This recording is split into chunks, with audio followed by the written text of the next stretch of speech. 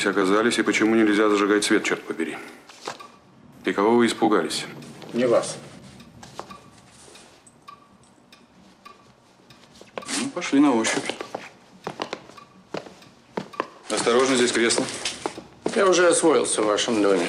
Тут уютно и тихо. И особенно, когда бомбят. Садитесь. Спина болит смертельно. Где-то меня здорово просквозило. Надо выпить аспирин.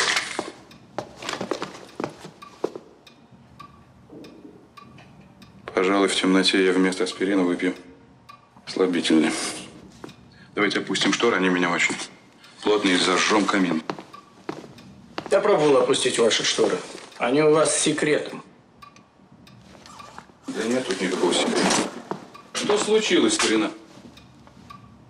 Кого вы так боитесь? Мюллера. Вашего шефа? Именно. Что случилось за те двое суток, что меня не было? Перевернулся мир, на землю сошел Бог. Кальтенбруннер женился на еврейке. Почти.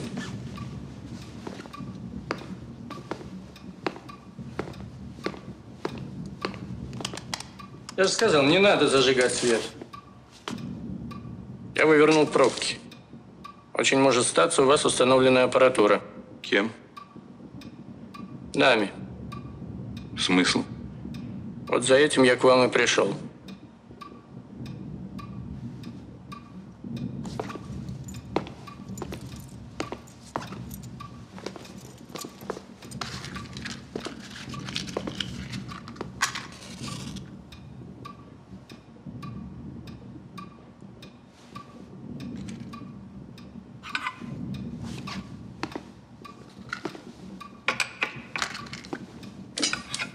Если боитесь, что нас будут фотографировать, можете устроиться в углу, вас там никто не увидит. Пойду выпью последний.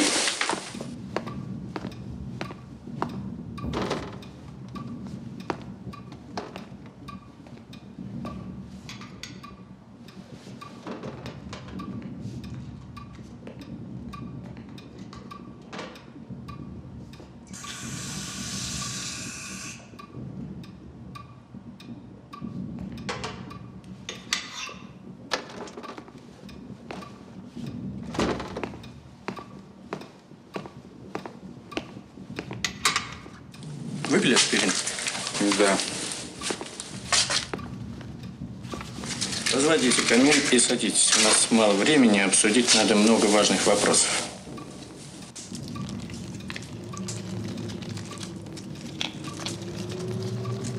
Что это он так гудит? Что это он так гудит? У меня всегда гудит. Кто нагреется, перестанет гудеть. Странный камин. Странный. Ну, что у вас, дружище? У меня? У меня ничего. Вот что будете делать вы? В принципе, И в принципе. в принципе, я намеревался принять ванну и завалиться спать. Я продрог, смертельно устал. Я пришел к вам как друг. Ну, хватит. Что вы, словно мальчик, пускаете туман? Или вас зовут Монте-Кристо? Выпить хотите? Хочу.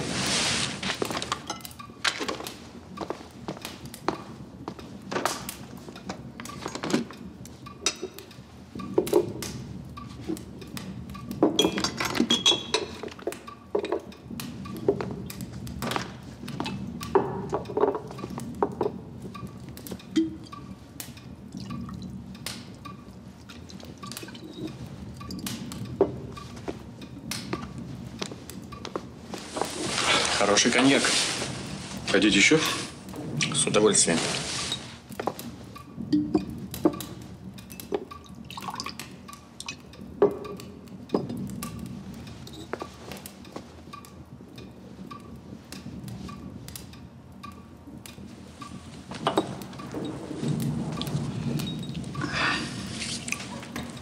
Штирлиц, я в течение этой недели занимался вашим делом.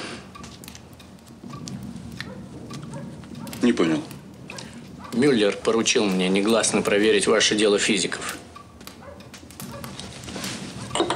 Слушайте, что-то вы со мной загадками разговариваете, Холтов. Честное слово, мне ничего не ясно.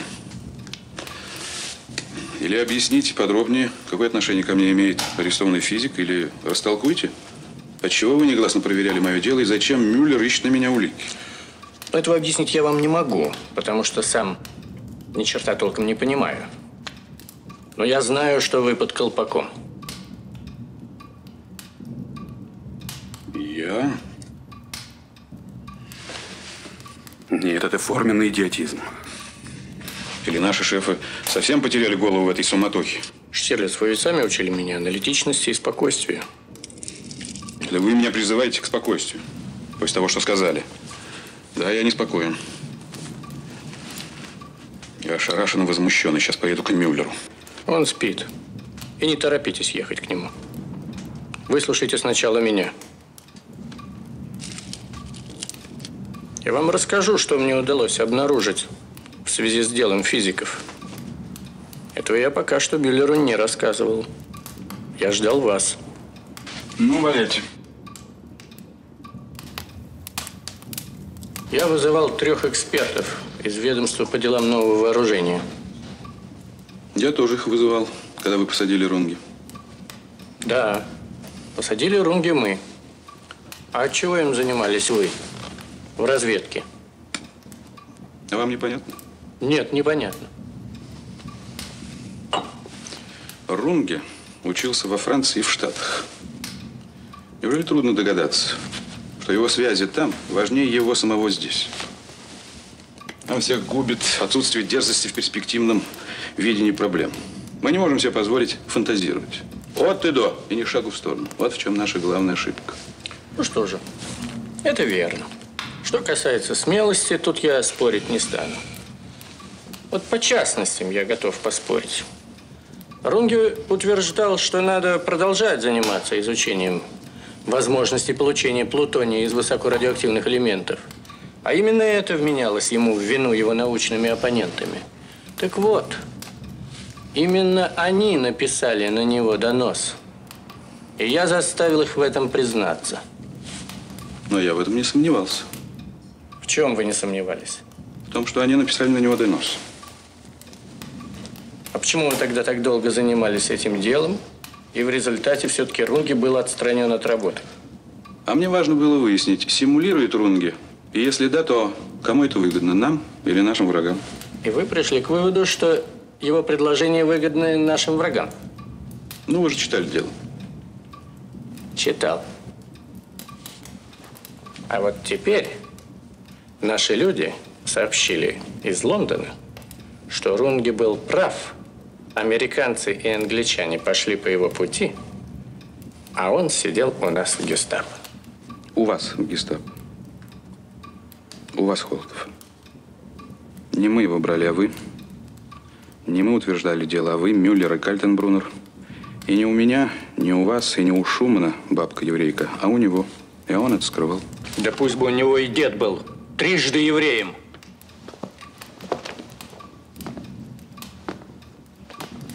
Цыган, не цыган, еврей, не еврей. Какая разница? Неважно, кем был его дед. Если он служил нам и служил фанатично.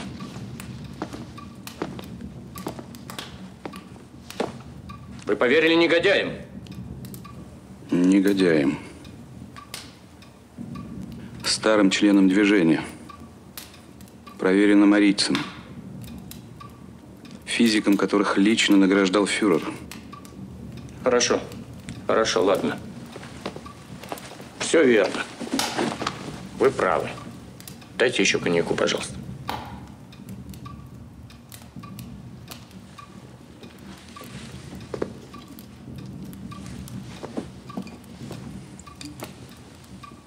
вы не выбросили? Пробка у вас в левой руке, Штирлиц. Я вас спрашиваю о пробках электрических. Те в столике возле зеркала.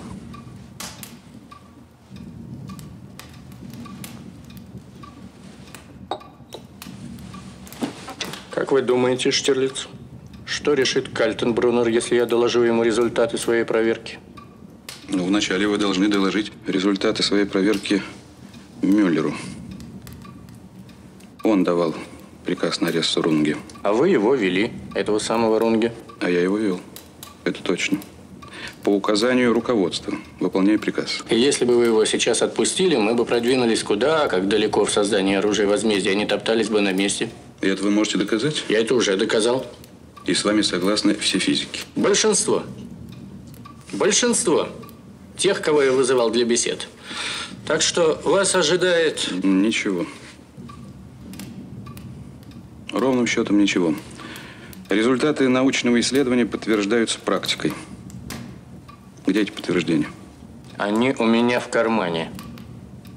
Даже так. Именно так. Я кое-что получил из Лондона, самые свежие новости. Это смертный приговор. Вам. Чего вы добиваетесь, Холтов? Вы куда-то клоните, а вот куда, я не могу понять. А я готов повторить еще раз. Вольно или невольно, но вы, именно вы сорвали работы по созданию оружия возмездия. Вольно или невольно, но вы, именно вы, вместо того, чтобы опросить 100 физиков, ограничились десятком, и на основании их показаний, а они были заинтересованы в изоляции Рунги, вы способствовали тому, что путь Рунги был признан вредным и бесперспективным. Значит, вы призываете меня не верить истинным солдатам фюрера? Людям, которым верит Кейт или Геринг, и верить человеку, который стоит за американский путь развития атома. Вы к этому меня призываете. Вы призываете меня верить Рунге, которого арестовала гестапо. А гестапо зря никого не арестовывает. И не верить людям, которые помогали его разоблачению. Все выглядит очень логично, Штирлиц. Я всегда завидовал вашему умению выстраивать точную логическую направленность. Вы бьете и Мюллера, который приказал арестовать Рунге, и меня, который защищает евреев в третьем колене, становитесь монументом веры на наших костях. Ну ладно, все очень точно, но я не за этим пришел. Рунге, хоть и сидит в концлагере, но живет в отдельном коттедже городка СС. И имеет возможность заниматься теоретической физикой. Сейчас я вам скажу главное.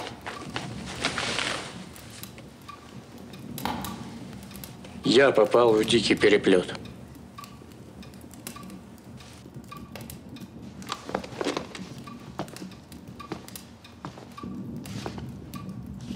Я доложу результаты своей проверки Мюллеру, он поймет, что вы, даже при том, что вы под колпаком, и вас проверяют не один я, а несколько человек, вы будете обладать оружием против него.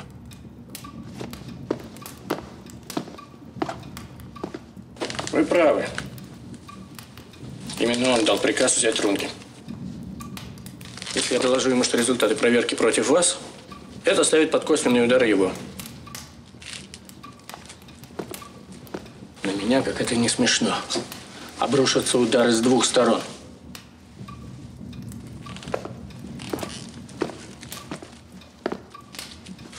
Меня ударит Мюллер, и вы.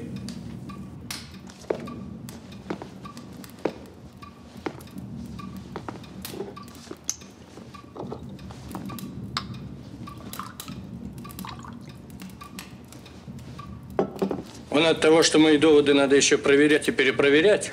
А вы... Ну, вы уже рассказали, как примерно вы станете меня бить.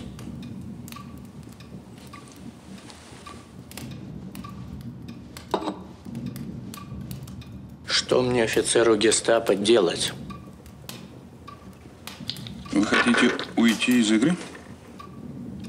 Вы бы на моем месте поступили так же? Теперь я не могу вам ответить, Холтов. пока не услышу ваше «да» или ваше «нет». Ну, а если позволим себе предположить невозможное, я отвечу «да». Если мы будем предполагать невозможное, тогда вы ошиблись адресом. Обратитесь к астрологам, а не ко мне. У вас есть окно на границе?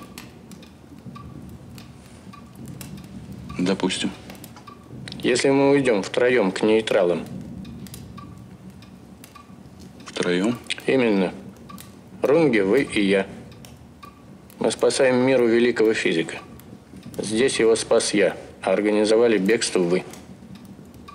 Как? И учтите, что не я, а вы под колпаком. А вы знаете прекрасно, что значит быть под колпаком у Мюллера.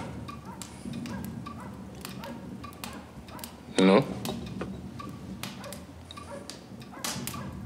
Я жду ответа.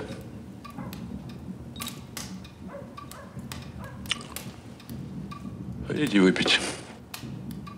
Хочу.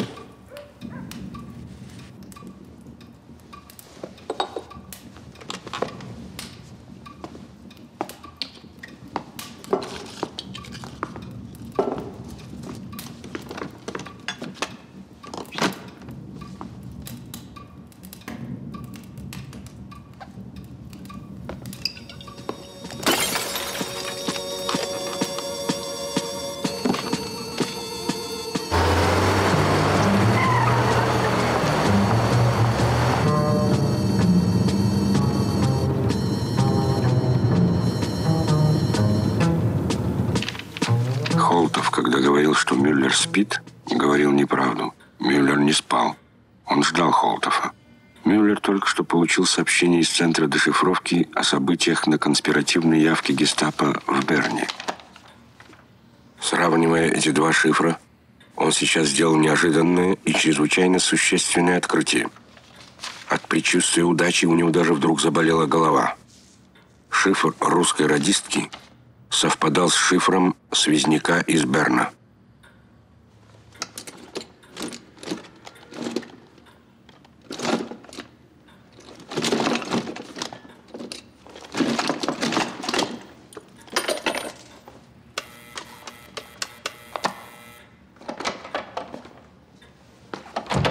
Слушайте, Шольц, может быть, вы мне объясните, что у меня все время с этим ящиком?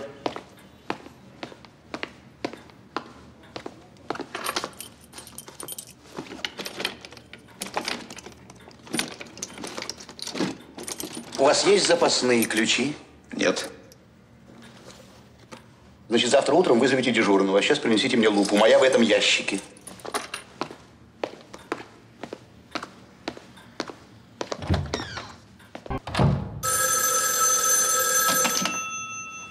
Слушает. Да, шеф. Хорошо.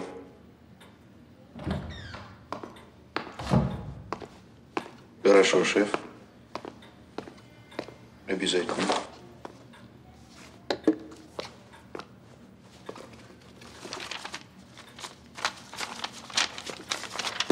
Да.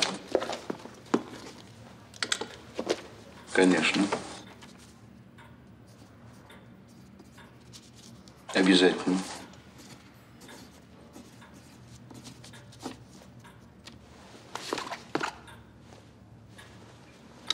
Конечно.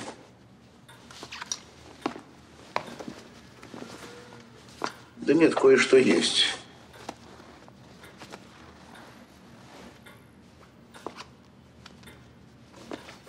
Да.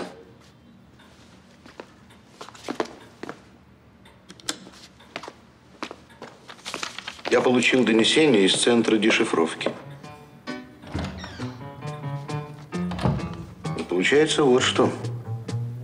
Шифр русской радистки совпадает с шифром, который пришел с их связняком в Берн. Да, это профессор Плейшнер. Значит, резидент в Берлине ищет новые связи.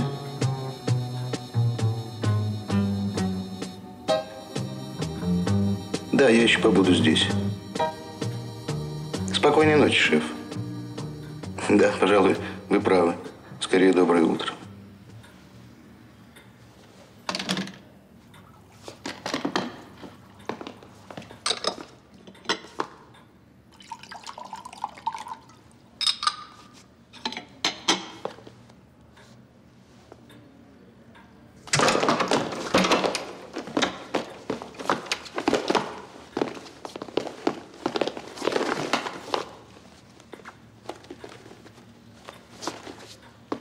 Что это значит? Вы что, с ума сошли, Штирлиц? Я в своем уме. А вот он либо сошел с ума, либо решил выйти из игры. Что? Принесите ему, пожалуйста, воды.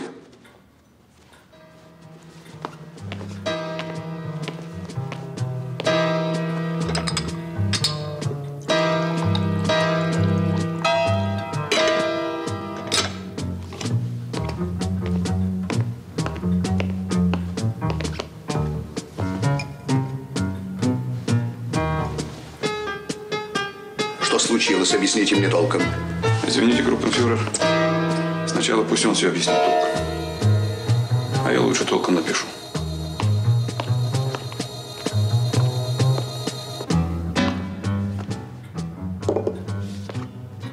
Хорошо. Идите к себе и напишите все, что вы считаете нужным написать. Сколько вам для этого потребуется?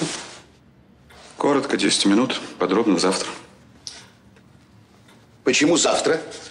Потому что сегодня у меня срочные дела, которые я обязан доделать. И потом он раньше не чухает. Хорошо, значит, завтра в 9 утра. Решите идти? Да, идите.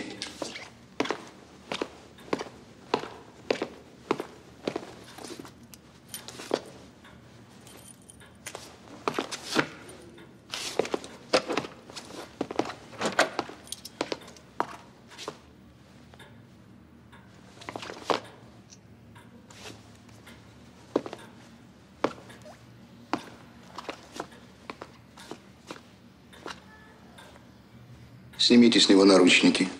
Сделайте перевязку. И отвезите его домой. Все.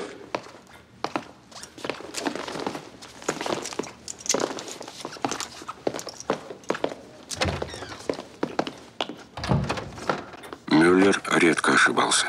И когда служил в Веймарской республике, избивая демонстрации нацистов, и когда перешел к нацистам и начал сажать в концлагеря лидеров Веймарской республики, и когда выполнял все поручения Гиммлера, и позже, когда он начал тяготеть к Кальтенбруннеру, чутье не подводило его. Вряд ли Кальтенбруннер забыл о своем поручении Мюллеру проверить досье Штирлица. Значит, что-то случилось. И, видимо, на высоком уровне. А самый высший уровень для Кальтенбруннера был Мартин Борман. Поэтому-то Мюллер и поручил Холтофу поехать к Штирлицу и провести спектакль. Если бы Штирлиц на завтра пришел к нему и рассказал о поведении Холтофа, то он мог бы спокойно положить дело в сейф, считая его законченным. Если бы Штирлиц согласился на предложение Холтофа, тогда он мог с открытыми картами идти к Кальтенбруннеру и докладывать ему дело, опираясь на данные своего сотрудника. То, что произошло сегодня, было непредвиденным и не укладывалось ни в одно, ни в другое решение. Скорее повинуясь привычке доводить все дела до конца, чем подозревая именно Штирлица, Мюллер вызвал Шольца. Можете, Шульц. Срисуйте-ка отпечатки. Вот с этого стакана. Если буду спать, будить не надо. Я думаю, что это не срочно.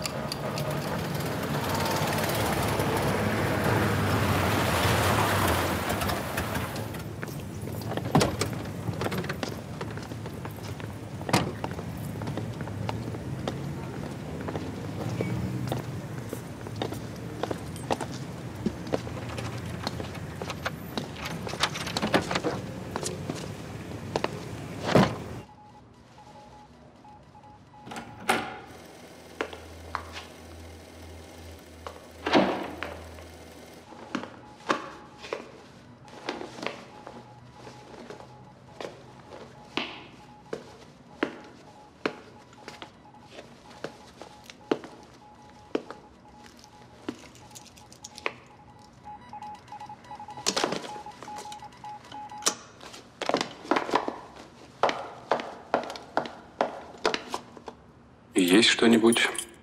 Нет, штандартенфюрер.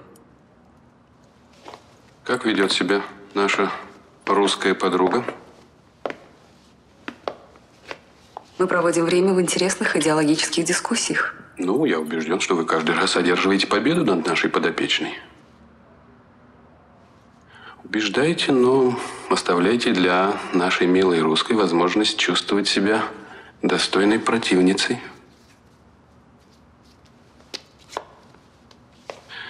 Принесите мне, пожалуйста, кофе, если можно. У нас кофе невкусный, суррогат. Есть хороший чай. Оберштурманфюрер Кюн привез хороший чай, по-видимому, трофейный. Ну, покрепче.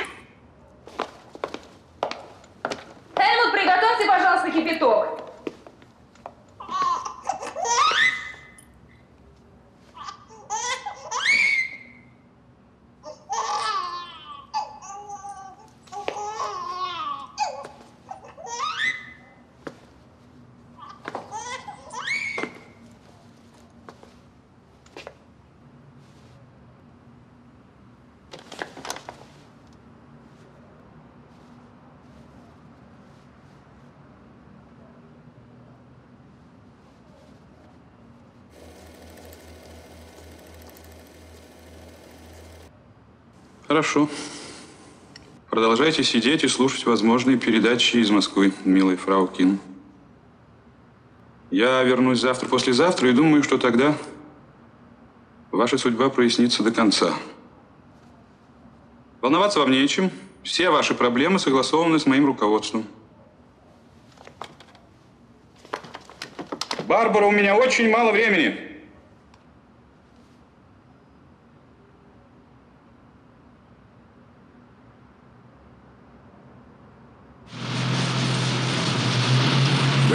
Третьего Белорусского фронта сегодня, 15 марта, вели ожесточенные бои с противником в районе юго-западнее Кенигсберга.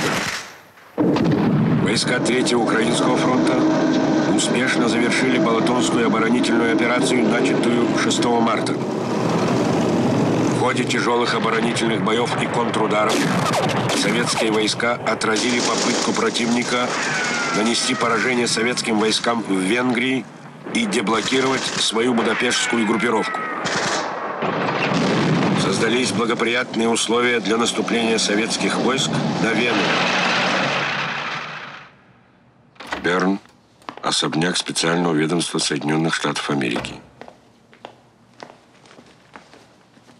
Прошу прощения, господин Далис. Звонили от мистера. Хорошо. Я вынужден оставить вас. Прошу продолжить беседу. Вероятно, завтра вечером мы встретимся снова.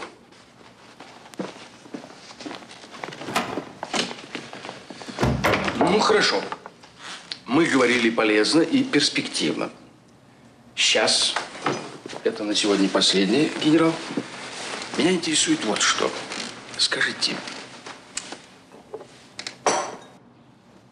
кого вы видите канцлером будущей Германии?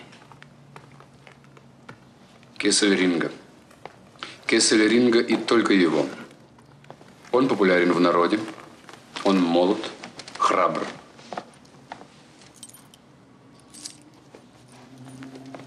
Министр иностранных дел, Фон Нейрат. бывший наместник Чехии и Моравии. Он был обергруппенфюрером СС.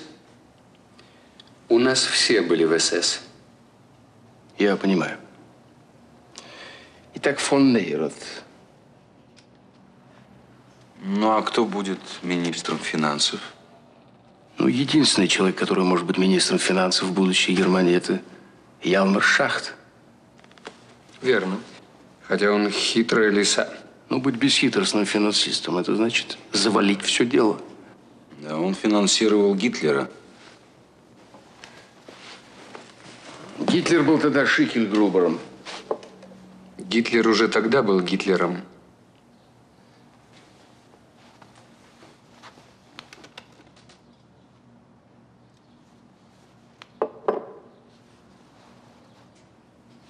Ну, а министр внутренних дел?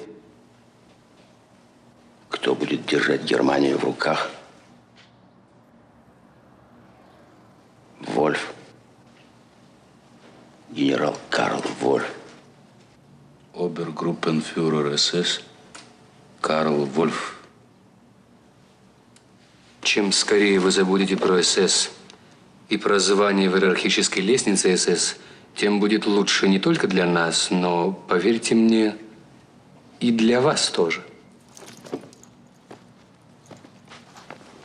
Генерал, а как вы мыслите будущее своего непосредственного шефа?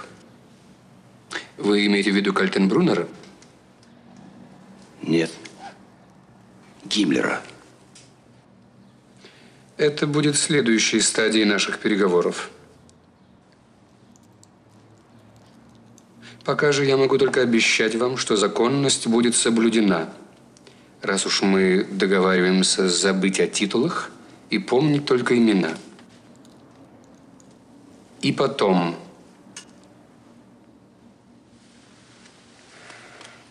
Это ли сейчас главное? Остановить большевиков, не пустить их в Европу. Лично я вижу свой долг только в этом. Именно в этом.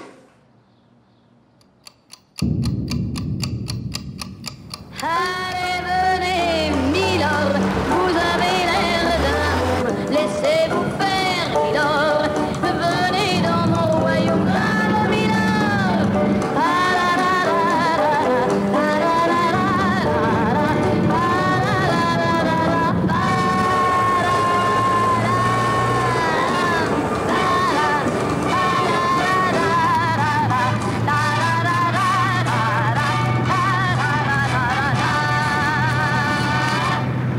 Нет, это, это полное падение нравов. Я не порицаю, нет, я просто слушаю ее и все время вспоминаю Гендель, Бах. Видимо, раньше люди искусства были, что ли, требовательнее к себе. Они шли рядом с верой, ставили перед собой сферу задач и не являлись, как сказать, маяками. Это? Так говорят на рынках. Эта певица переживет себя. Ее будут помнить и после смерти. Это вас говорит снисходительность. Во мне говорит любовь к Парижу.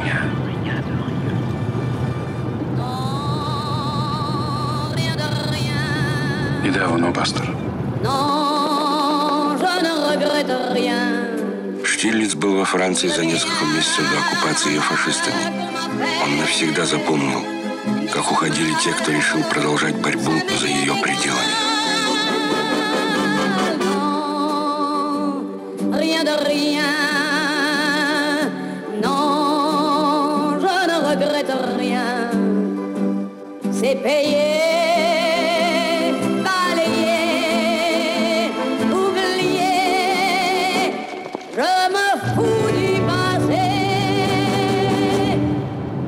два часа мы будем на границе. А сейчас повторите-ка мне все, что вы будете должны сделать в Берне. У меня хорошая память. Библия учит не только доброте, но и точной организации памяти. Тем не менее, пожалуйста, повторите мне все. От начала до конца. Хорошо, я должен остановиться в отеле «Савойя». В тот же день У него действительно хорошая память, если еще учесть его возраст и необычайные ситуации. Тут, я думаю, дело пойдет. Он свое дело начнет и очень скоро. Теперь Кэт. Если случится нечто непредвиденное, это может случиться, хотя и не должно. Скажет про меня, не вынеся пыток. Но пастор уже начнет свое дело, и Плешнер выполнит мое поручение. И ни один из них не знает, какое дело они сделали в моей операции. За пастором в Берне будут наблюдать наши люди, получившие сигнал от Плейшнера. И все будет в порядке. Этим переговорам не быть. Я не дам Гиммлеру. Не выйдет. Теперь не выйдет. Нет. Вы должны назначать встречи не в голубом зале, а в розовом. Вот видите, память памятью, а повторить никогда не мешает. Странно. Мне казалось, что вы меня совершенно не слушаете. Нет, нет, я вас слушаю очень внимательно. Продолжайте, пожалуйста. Пастор сегодня будет в Швейцарии, а завтра он начнет мое дело. Наше дело, так точнее. Если пастор уйдет и все будет в порядке, я выдерну оттуда Кэт. Тогда можно будет играть в банк Они сжимают кольцо. Тут мне не поможет даже Борман. Я уйду с ней через мое окно, если пойму, что игра подходит к концу. Правильно? Правильно. И очень хорошо, что вы на это обратили внимание. Садиться во второе такси, минуя первое, и ни в коем случае не садиться в случайные попутные машины. В общем-то, я рассчитываю, что наши друзья из монастыря, о которых я вам говорил, станут опекать вас. И хочу повторить еще раз. Все может статься с вами.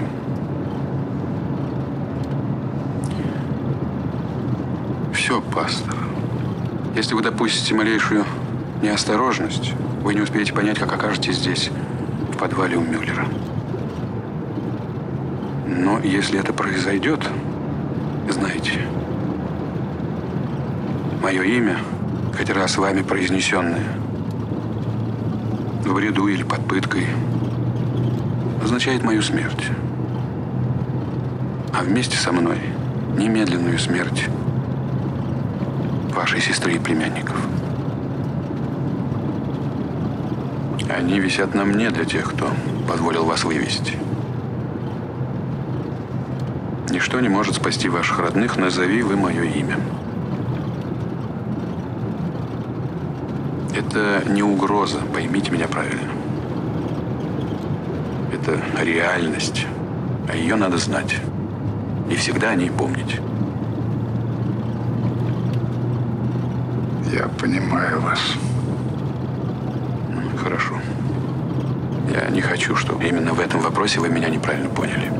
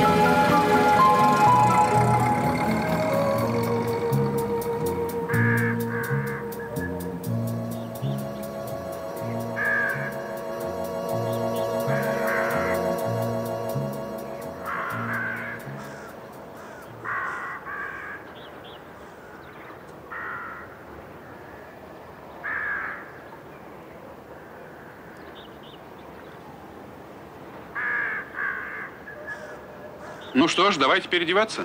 Сейчас я... У меня немножко дрожат руки. Мне надо прийти в себя. Говорите нормально. Здесь нас никто не слышит.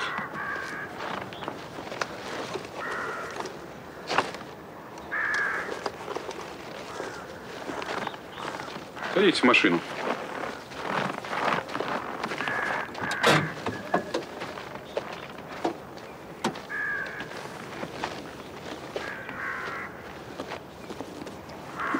Повторите мне еще раз адрес, по которому вы будете писать нашим друзьям. Я помню, помню. Как раз. Повторите еще раз, пожалуйста, адрес. Берт Юхансон, улица Свевеген, дом 7, м, Стокгольм, Швеция. Правильно. Повторите мне текст телеграммы, который вы отправите, если переговоры между Гиммлером и Даллесом начались. Я отправлю телеграмму. Тетя Эльза... Ой, тут узелок. Давайте я вам помогу. Давайте. Значит, я... Тетя Эльза гостила у нас э, Берни Лазанни. Чувствует себя хорошо, только очень скучает. Каждую неделю пишет письма домой. Густав. Правильно? А если никаких переговоров нет? Если... Тогда я напишу. Спасибо. Пожалуйста. Тогда я напишу. Не верьте тому, кто пугает вас плохой погодой Швейцарии. Здесь очень солнечно и тепло. Правильно, хорошо. Пойдемте.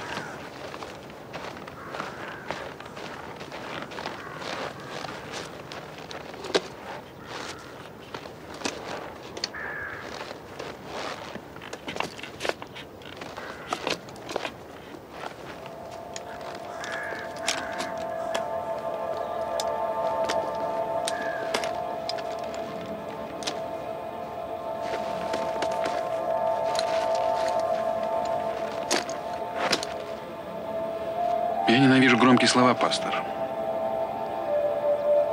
Но от того, что вы узнаете, и от ваших телеграмм, зависит будущее Германии. И не только Германии. Счастливо вам, пастор. Идите на шум электростанции. Отель рядом. Это километра два, не больше. Ну, благослови вас Бог.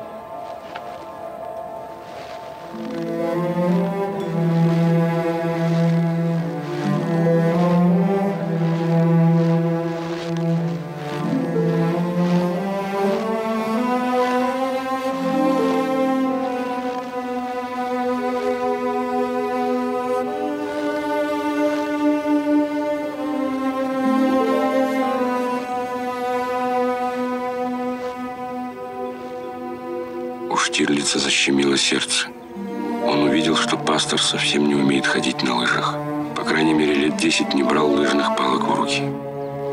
Ничего, успокаивал он себя. До отеля недалеко, до отеля рукой подать. Дойдет. Все будет в порядке.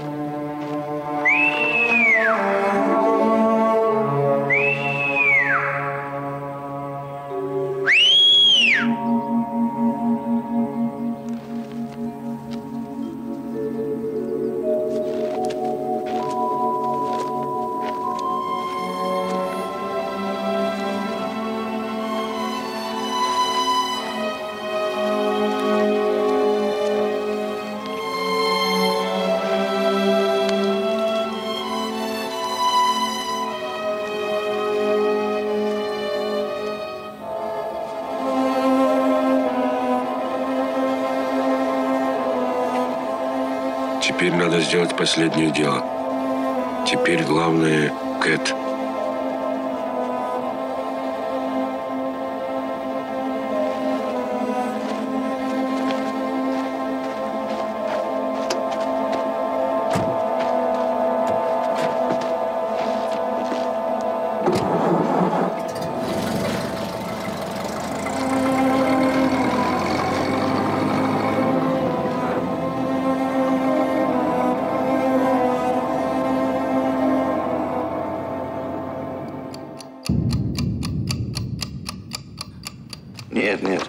Ничего не буду просить у вас здесь, дорогой Шелленберг. Я попрошу у вас там.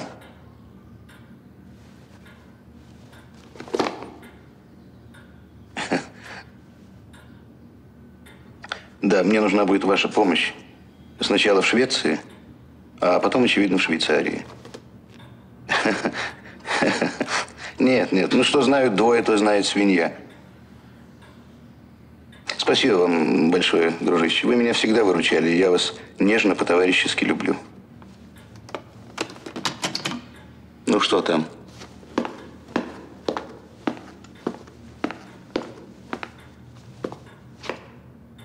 Группенфюрер, на стакане, на чемодане русской разведчицы, на трубке телефона спецсвязи были пальцы одного человека, штандартенфюрера СС Штирлица.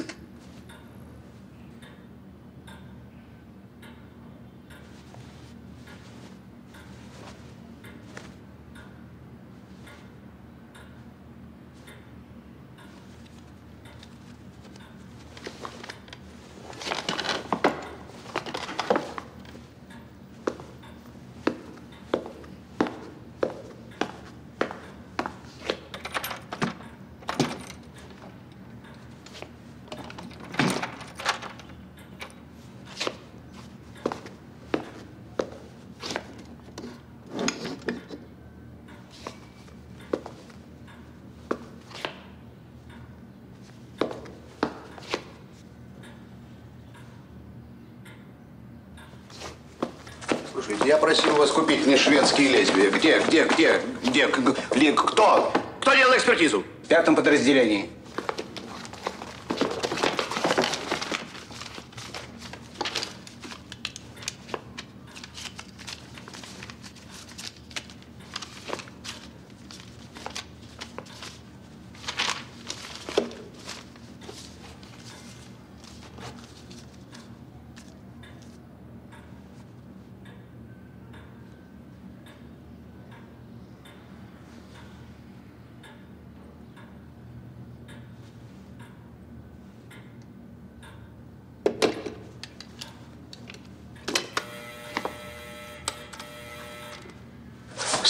Склероса, я вас вызываю.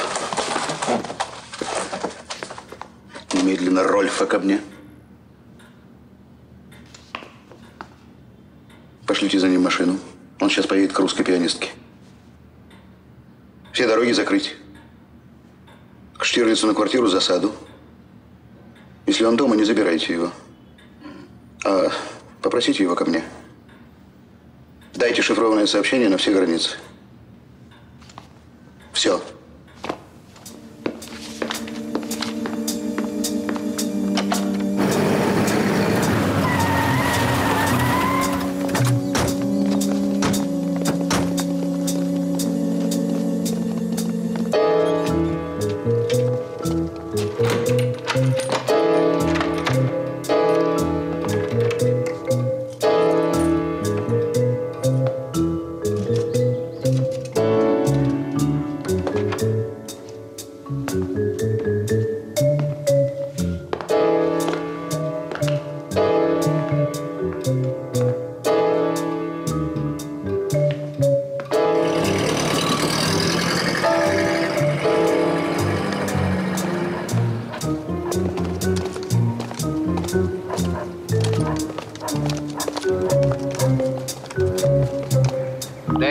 Посмотреть.